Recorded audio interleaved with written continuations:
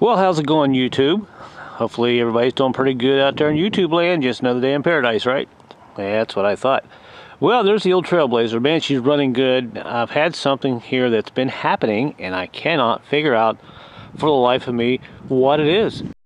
Now, as I drive down the highway, often it seems like when I cross over the center line to change lanes, and sometimes, you know, in the center lanes where they have the uh, no passing marking zones, they actually put a little bit of extra concrete there to kind of protect it so those markings don't get uh, erased over time when you're crossing and changing lanes. And those areas sometimes are just a little bit high, not much. But when I change lanes sometime, it feels like something in the front end is trying to pull the vehicle a little bit to the left or right when I cross over, but on the driver's side, it doesn't happen. So this had me pretty stumped only because I've replaced the lower ball joints, the upper ball joints, I've got new sway bar end links, and I've checked all the bushings that I could uh, see and uh, check things that I thought may be bad when I did all this work. And I overlooked something on the top and a lot of people overlook this and they still can't figure out what's going on. Sometimes you just got to get a tool and get in there and start prying.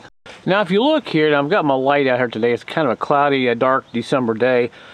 You can see the upper uh, control arm here. And like I said, I replaced the upper ball joint and uh, everything seems really good. I can sit here all day and shake this wheel and it is stiff as a board. So I got to looking up in here and I wanted to see, well, maybe one of the bushings on the control arms is bad. The pulling seems to be on the passenger side. And check this out right there, folks. You see that right there? That's a bushing and that's an upper control arm. And watch this. I got a pry bar here, and I'm gonna kind of go in here. Check this out. See that? This is the root of my swing on the highway. If I zoom in just a little bit more, you can probably even see the bushing where it's damaged. Look at that. And you can see the whole arm moving.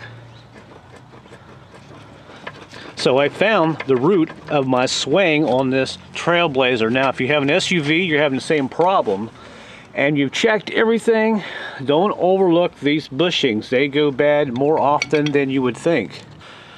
Now, this bushing here is the back one on the uh, passenger side. And if I pan back out here while I'm shaking this, you can see this tire actually moving. Okay, so now I'm going to pry on this and watch the top of this tire as I shake this and check that tire out there. See it moving? So I have found my problem right there. All right, now here is the front one, and you're probably not going to be able to see this, but if I put a screwdriver in here and just kind of pry, check this out. There's a half inch of movement there. That is crazy. So I've been driving this thing the whole time thinking it was just my imagination and that's the way this thing was going to run. So the lesson here is if something doesn't feel right, trust your instincts. There's probably something bad. And now, for the fun of it, this is the driver's side, and I thought, well, better come over and check this side, because you know, if that side's bad, a good chance the opposite side is bad, so check this out. It's bad too, see that? Okay, so let's check the front one on the driver's side here. And right there is the bushing. Let's put our pry bar in there and see how much play we got. It may be a little hard for you guys to see, but definitely got a little play in that one too. Let me see if I can switch the angle here real quick. Kind of hard to get the light just right, but if you look right there, see that? that is just crazy. So, uh, this is good news for me. Why? Well, you're saying, why is this good news? Well, this is pretty easy to change.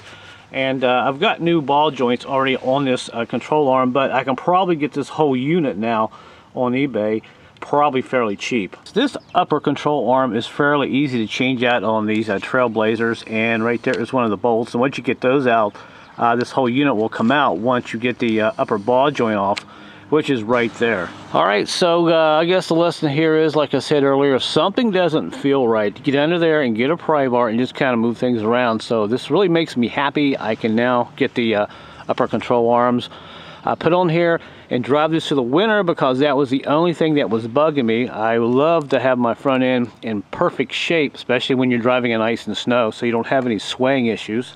So over the next few days when I get my new parts in, we'll uh, go ahead and replace this and I'll make a quick video if you want to see it. And if you do, let me know.